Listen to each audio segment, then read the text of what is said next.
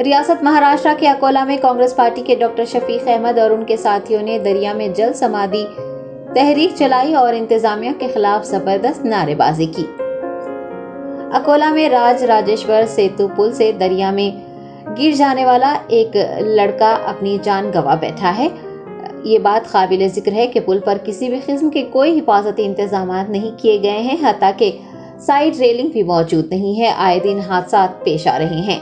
हादसा पर काबू पाने के लिए कांग्रेस पार्टी के डॉक्टर शफीक अहमद और उनके साथियों ने दरिया में जल समाधि, तहरीक चलाई और इंतजामिया के खिलाफ ज़बरदस्त नारे लगाए। आपको बता दें कि इतने बड़े पैमाने पर तहरीक चलाने के बावजूद भी अहदेदार हरकत में नहीं आए और न ही कोई कार्रवाई की, जिसके बाद कांग्रेस पार्टी के अहदेदारों ने अपने एहतजाज को रोक दिया।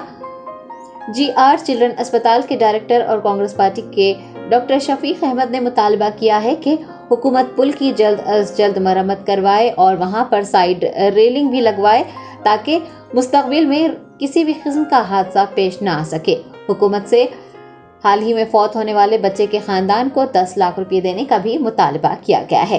तहरीक में प्रशांत गांडे, रफीक सिद्दीकी, महमूद खान पठान, जमील खान, शारिक खान, शकूर लोधी, मोहम्मद नौशाद, आसिम खान, शेख रफीक, डॉक्टर इजहार व दीगर कारकुनान ने हिस्सा लिया। ये आज का आंदोलन अकोला शहर वासियों के लिए महाविकास आघाड़ी की तरफ़ से।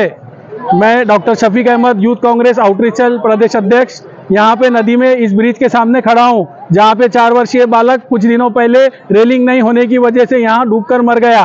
और आज भी प्रशासन की आँख खुलने को तैयार नहीं है। इस ब्रिज की, छोटे से ब्रिज की रेलिंग आज भी नहीं लगा पाई प्रशासन। इसी के लिए हम यहाँ पर आंदोलन के लिए खड़े हैं और हम ये न्याय मांगते हैं उस बच्चे के लिए कि उसके परिवार को 10 लाख का मुआवजा दिया जाए और इमीजिएटली ये ब्रिज के ऊपर रेलिंग लगाई जाए।